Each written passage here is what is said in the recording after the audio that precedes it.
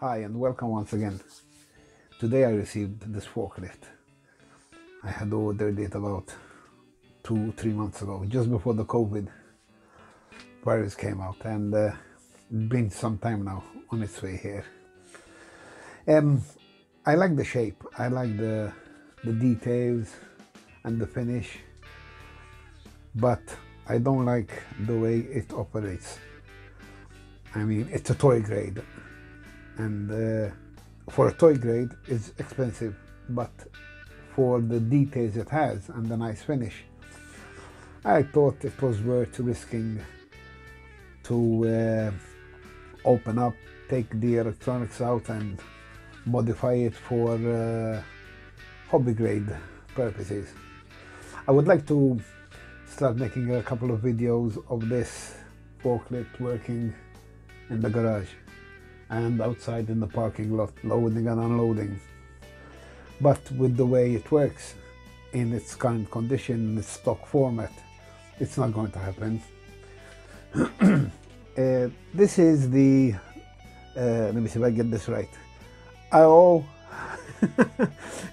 hang on it's AOHAI AO Hay 382818 11 inch RC forklift I bought it from Banggood. Um, I, I think it was about $75. Again, not cheap for a toy. But uh, you'll see for yourself now. This is this is the radio that came with it. As you can see from the size of my hand, you know, it's not exactly a big radio, very small. But it's got quite a few features in it. I already switched it on. The first thing I will remove, hang on a minute, let me point this down here a bit. Next. The first thing I will remove from it is this. that will drive me up the wall. There's no way any sound is coming out of this. If, wait, wait a minute, let me switch it off. Nope. Yeah, listen to this crap. there, nice and quiet. The only sound I will allow, I don't think it has it, I will have to find some way of making it, is while it's reversing the normal industrial uh, reversing beeps. That I don't mind because that is uh, realistic. But the rest of it, I'm sorry, it's crap. Um, uh, let me give you a demonstration of it lifting and whatever. It does what it's supposed to do.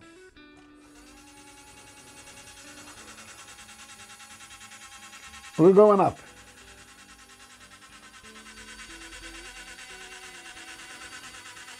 As you can see, it's struggling. Well, mainly because I haven't charged the battery yet. Plus, um, this does not slide in this rail perfectly. I might oil and grease and whatever to help it along. And if there are any sharp edges or edges that are not supposed to be there, I'll remove them, but I mean, I'll clean them out. This goes up and down. It's held up by this bit of string here and the same on the other side. There's a pulley here and the pulley, hang on, you're not seeing this, are you? Whoop. There you are.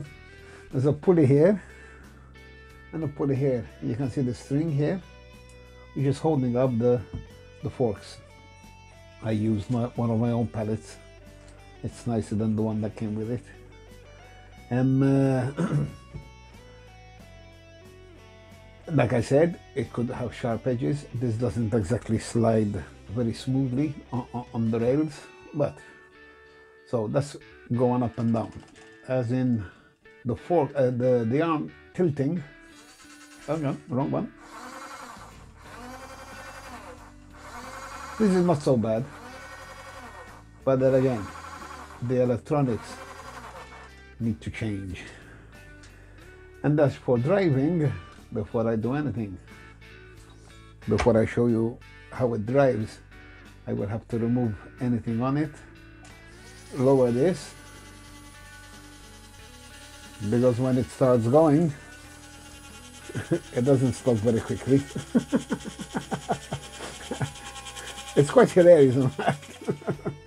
Oh, by the way, I put Ruff in there. He seems to fit. He's got his pet cat there. Seems to fit very well in it. So although although it says, hang on a minute. There, let me show you a bit of lighting as well. Yeah, it's better. Although it says it's a 1 8 scale forklift, well, he fits in there, so for me, it's it's more a 110. um, so here goes the driving. Right, hang on, let me show you the steering first. Ready? Nothing. Nothing, but if you push it all the way, that's it. Let it go, and it comes back. I find it hilarious. Anyway, reversing. Ready? Hold tight. Don't be surprised if it crashes into something. And it's off. Watch, take note and when I let my finger go. Let me see, put this in. I'm going forward. I'm to let my finger go and see how long it takes to stop.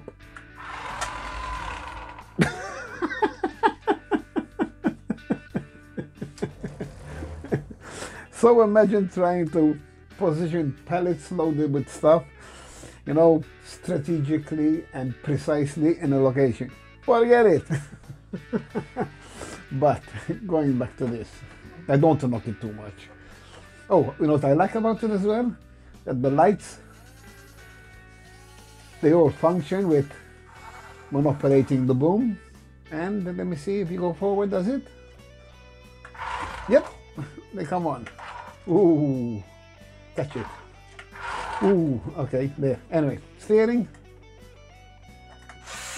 Yep, they go on with the steering as well. okay, anyway, this is it.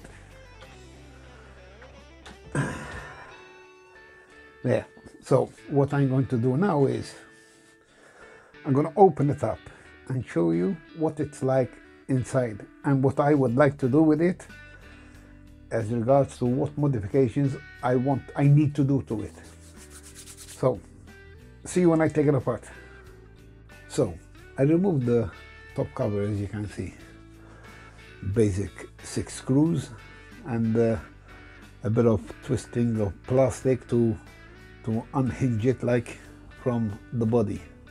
So the chassis is very basic and when I saw that let me see here. Let me move the camera a bit.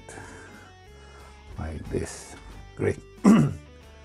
This is the main motor that drives the front wheels. And the gear that uh, we have a gearbox here and a locked axle. So this makes steering very difficult because the steering at the back um, uh, this is switched off okay. The steering at the back uh, won't uh, allow no the steering at the back won't turn the vehicle the way it should with a front locked drive axle. So um, I was planning on putting a motor on each wheel and configuring my uh, Spektrum's DX8 to to uh, work the way I need it to work. That uh, one lever will move the forklift forward, the same one pulling it towards me will reverse it, and when I turn, uh, the motors will change to the correct speed to turn according to how far I turn the steering. But it was going to be complicated. I know I would need two ESCs, two motors, blah, blah, blah. Anyway, um, there is no room for all this. So I thought of this and somebody actually mentioned it on, on, on, a, on a forum. Why not disconnect one of the front wheels, the main drive of the, of the forklift, disconnect it somehow from being driven, freewheel it and make it a, make the whole thing a one-wheel drive. Um, to be honest with you, I think that's the easiest way to go. Just not sure uh, how to go about freeing, for example, this wheel. I need to open up here to see what the gearbox is like and what it entails. Because I would not like to do uh, irreparable damage I can't imagine finding parts for this. So ideally, if I can remove, uh, I don't know, a piece of the of the axle, oh, sorry, of the shaft, or make a make a simple shaft myself, just to let this turn, but freewheel, while the drive goes onto the other wheel. That's just an idea. I will leave the actual uh, motor there, the actual gearing and all that. I mean, it's a, it's a brushed motor, so if I put a 1060 Hobbywing ESC, I can get the, the slow crawl speed that I need for this, forward and reverse. That will solve one big problem for me. And the steering, here you can see it here. There's no servo over there. Toy grade, that will have to go. And I will fit somehow, I will have to fit a um, either a mini servo or a full, I don't know if a full size servo will fit in there, but maybe a mini servo. And again, this is going to be used mainly on this surface in the garage, which is over there, and the driveway, which is over there. You can't see it. And, um, and I'm not going to show it to you because there's a lot of crap there at the moment. I'm doing some renovation work in the workshop, and believe me, to clear the space, I have to be careful where to stand. anyway, uh, my tea at the moment is in the middle of my garage, and I'll say no more. anyway, so the steering will be a regular uh, servo. Uh, maybe uh, the difficult part will be uh, connecting the linkage, whatever kind of linkage there is here, this, to, to an actual servo. But anyway, we'll cross that bridge when we get to it. So, regular servo, this will be controlled by an ESC, this will all go, this is the, uh, um, the, the receiver, plus ESC and what have you here. And they claim this to be an 11 channel. I said 11 inch before, it's 11 channel. And um, well, this will all go. These are wires connecting the motor for the for the boom. And let me move here. For the boom and for the forks. They are just regular motors. Mm. And I will I don't wish to put an ESC for each one, but I might, um, um, there will be no speed, there'll be on and off. So if I put them on a separate channel each, uh, where they can go up and down at full speed, the motor. I mean, this is what I do right now. The, the original remote, here, let me show it to you. the original remote has these. Up, sorry, down, and up. There is no, uh, it's switched, that is disconnected. There is no uh, adjustment of speed. It either goes up or it comes down. I want it to be slow. I don't want it to zoom up and down. And they don't, when you have high speed and there's a problem, you have breakage. So I want to keep it as slow as possible. But anyway, I can adjust that from the radio, from the throttle. Um, uh, so this will be, one, one channel will be for up and down, one channel will be for tilting the boom forward and back. then I have another channel for the steering and one more channel to drive. For me, this will work with a, in my opinion, it will work with a four channel. But I have eight channels on my radio. This is supposed to be 11, and I'm assuming the start, the sound, the music, and what have you, and the horn, they're all extra channels. Plus the lighting. Oh, the lighting, yes. Mm, the lighting, well, I can wire that. I can change the LEDs. I, I have these LEDs that I use on my on my RCs, and uh, they are uh, 12 volt capable. They're pre-wired. I buy them packs of 10 from eBay for about one or two dollars, and uh, I have blinking ones, and I can connect them to the motor output. Sorry, input so when the motor receives current to work, they'll go on and off. Oh, very simple. I think that's the way I'll go. To make the lights, because I like the, the working lights it has. I, I, I like that. Maybe they won't be as, as sophisticated, sorry for a lack of for a better word, as sophisticated as they are now, but I will get some of them to work somehow. Other than that, I don't know what else to do to it.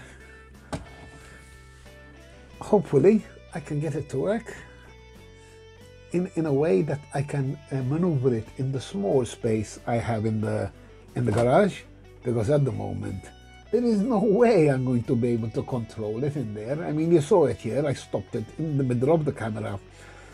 I let the throttle go and it ended up almost out of camera view until it stopped. I don't, I can't afford that space in the garage. Besides, it's not realistic. So we're to see what we can do with this, but that will be another video.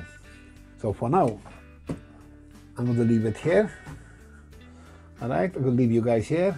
And uh, if you have any comments, suggestions, or tips, or whatever, please let me know down in the comments. Like my video, subscribe, and share, please. Until the next one. And the next one hopefully will be what? The result of what I did to that forklift, the, the mods I made. See you then, guys. Thanks.